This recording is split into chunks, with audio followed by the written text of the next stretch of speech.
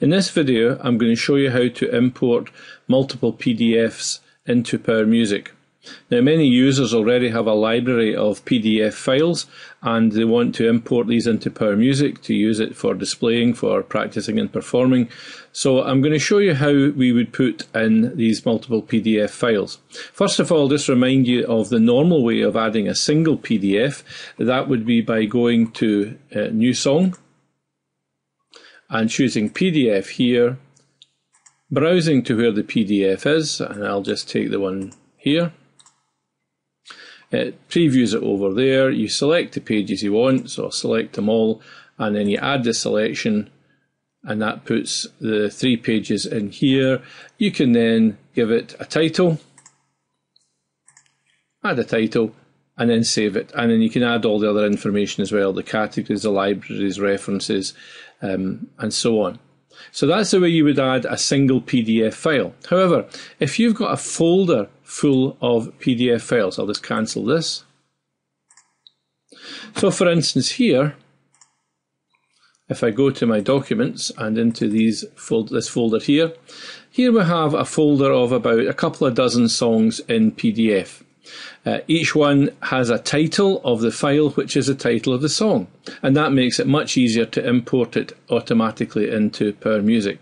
So we're going to import this folder full of PDFs into Power Music. To do this, we go to the File menu and we go to the Multiple PDF Import and we choose Multiple PDF files of one song each. I'll deal with the second option one PDF file with many songs uh, later on. So let's choose that one. It's just reminding you that the PDF uh, files have all got to be in a single folder. So we'll just go ahead with that and it shuts down the editing screen while you're doing this. So the first thing we need to do is to browse to where we have the folder of PDF files. So I've got it in my documents and it was called Songs for Import. What this does then is displays all the PDF files that are in that folder there. Now I can choose to import them all, or I can choose individual ones that I want to import.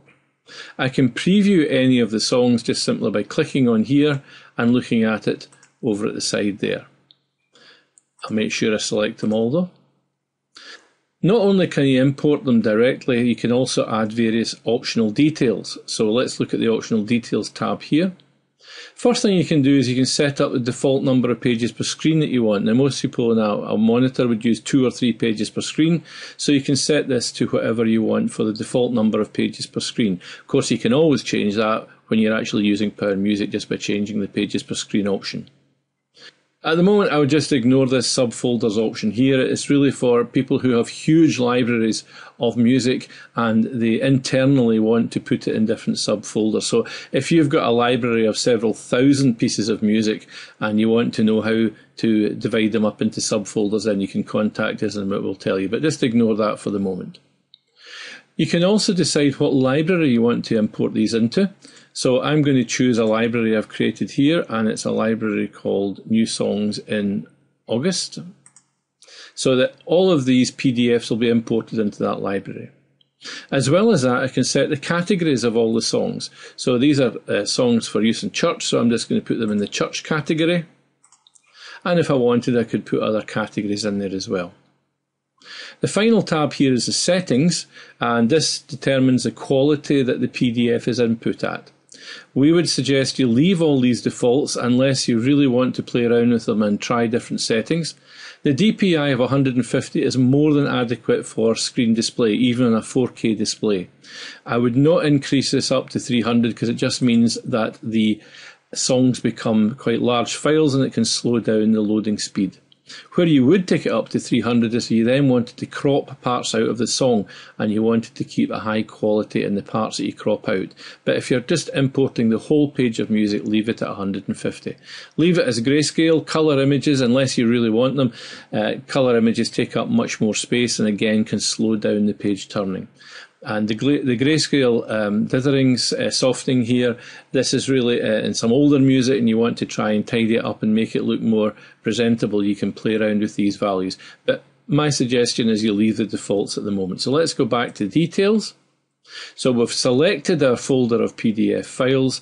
We've set up what library we want to go into, what categories and so on. I'm now ready to import all of these songs into Power Music and they'll be imported with their title set as the name of the file that is imported. So I'm just going to click on import the songs.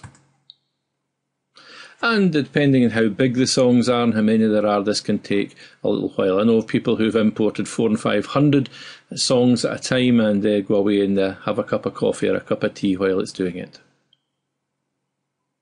Okay, and there we are. And we get a report that they've all been successfully added. So let's see then the songs in Power Music. So we're finished, so we'll just click on Finish. And we now go to our library of uh, songs in August. And there they are there. There's all the songs. And they've been imported with the title. And they're in the library. And if we have a look at the category, you'll see the category is church. Now, you probably noticed that I have actually taken in the whole page of the song. I could have cropped an area of this and only imported the area, but I wanted to keep the information and the copyright information displayed here. But you could have cropped it if you'd wanted. I'm now going to have a brief look at how you'd import songs from a PDF file that contains a whole lot of songs. Not, not one song per PDF, but one PDF file with lots of pieces of music in it, like a songbook. So I go to File, I go to multiple PDF import and I choose the second option this time, which is one PDF file of many songs. It's just telling me I'm going to close down the editing screen. It's going to ask me to browse to where my PDF is. So just give me a second, I'll find that. And here it is here. Okay, if I move this across we can see better. So this particular PDF contains um, a large number of individual songs. Each one of them you can click on and you can display that particular song to see it. You can, of course, just use the individual PDF import and go through and select each one, but this allows you to keep the list up on screen as you go through and select each song. Again, you can do things like set the um, author, the category, and, and, and so on here and you can also change some of the settings about the quality of the PDF. What this allows you to do though is just to put in the first and last page of the song, give it a title, and then add the song. So you can sit with this screen up and go through. So for instance, the first one here, if we go through it, has got two pages. First page is page one, and the second page is page two. So uh, the first song is that, and the title is All I Am Lord. Okay, so I've put in the title. I can now just put in the first line the same as the title. Just do that and say add that song. So that's the first song added. I can now go on to the second song, and I see that it's on page three and four. So I go up here and I go page three to page 4. Again, give it a title.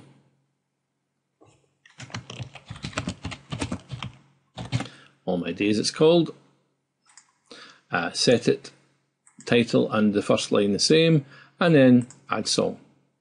And it adds it in. So this is slightly quicker than constantly going in and out of the new song editor to add a song. Of course, once you've got it in, you can then use the editor to do other things like add other information about it, to link audio to it, and things like that. This video was about how you do bulk import of PDF. For most people, the important import is from the multiple files of PDFs because that's how most people have their music stored. And you can bulk import the files into Power Music as long as the title of the PDF file is the title of the song you want to use. The second thing I showed you is a slightly different thing, and that's where you're extracting songs from a large PDF with maybe dozens or even hundreds of individual songs in it.